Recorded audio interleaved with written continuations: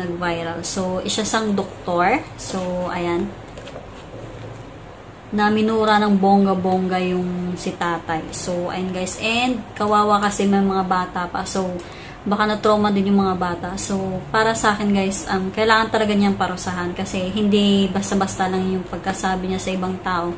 Porket na mayaman siya, porket na doktor siya. So, hindi, wala siyang karapatan namang ganun sa kapwa niya tao. So, ayan guys. And, kita mo naman pagkamura niya talaga as in bonggang-bongga, 'di ba? So, ayan, kailangan niya talagang managot sa sa kasalanan niya. Kasi, kaya nga guys, tayo gagawa tayo ng mga bagay. Kailangan alam natin kasi lahat ng bagay na gagawin natin may consequences yan. Thai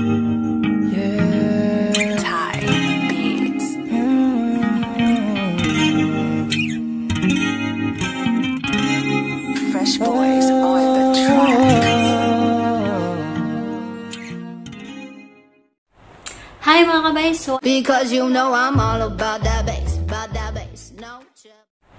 Hi mga kabay! So, and welcome back to my channel. So, panibagong umaga, panibagong trabaho na naman ang gagawin natin. And, it's me, Miss A. So, and guys, and kung kayo ay bago sa aking channel, oh, welcome na welcome kayo guys. And kung kayo ay mga luma na, so as usual, welcome back. So, ayan guys, and please don't forget to subscribe. And hopefully, sana maano na yung boses ko, malakas na yung boses ko. So, ayan, ang dami ko nang narinig na warning about sa audio ko. So, ayan guys, hopefully, sana malakas na to. So, ayan, as in, nagsisigaw na ako guys. So, ayan. And syempre for today's vlog, so magbibigay tayo ng reaction video. So ayun guys, magpapaka-expert tayo, feeling expert tayo. So ito isang video na nag-viral guys. So ayan, alam na alam niyo na to siguro. Mas tinalo niya pa si alias Linda. So ayan guys, humabol siya sa Pasko. And without the further ado, so ipapakita ko na sa inyo yung clip. Just keep on watching. Oh! Anong number ng boss mo? Anong number ng boss mo? Ano? Operator ka lang. Anong number ng boss mo? Anong operator? Anong number ng boss mo? Binato mo kami! Binato- Anong number na? Bintana. Dinigid-dip mo ako! Ikaw ang Bastos ka! Ikaw nang gigit! Bastos ka! Dinigid-dip mo ako! Lumilipat ako ng linya!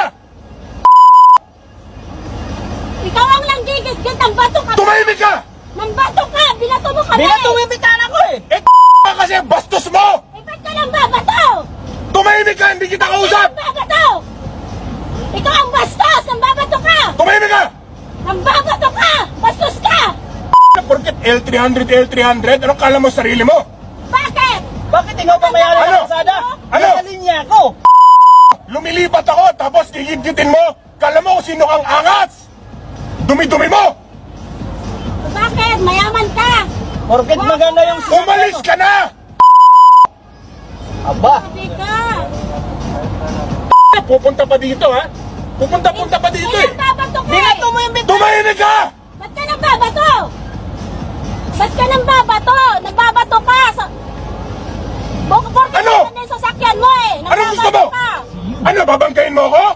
Hindi ka kita binabangga.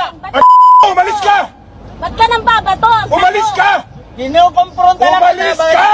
mo kami? Wala akong pakialam sa'yo! Ba't ka nang babato? Binato mo kami. Nasa Paalisin mo ka.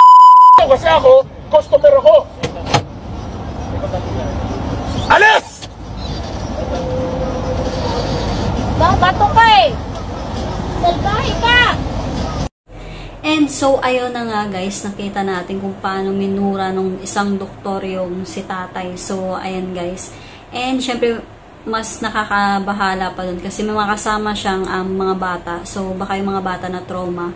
And then, so, ayun guys, grabe talang pagmumura niya. So, dapat maging leksyon to sa atin guys na kahit gaano tayo kayaman, kahit gaano tayo ka-popular, kahit gaano tayo ka-famous, wag na wag tayo ang mag-aapak ng kapwa natin para hindi tayo madali. Isipin mo naman guys, 'di ba? Ilang taon mong um, pinagtiyagaan tapusin. Tapos dahil lang sa um, attitude mo, so mawawala bigla. So ayan guys, and tandaan natin lagi na lahat ng mga ginagawa natin may consequences. So ayan guys, kung mabuti yung ginagawa mo, syempre mabuti rin yung babalik sa'yo. And kung masama naman yung ginagawa mo, syempre magbubunga rin ng masama yun para sa'yo.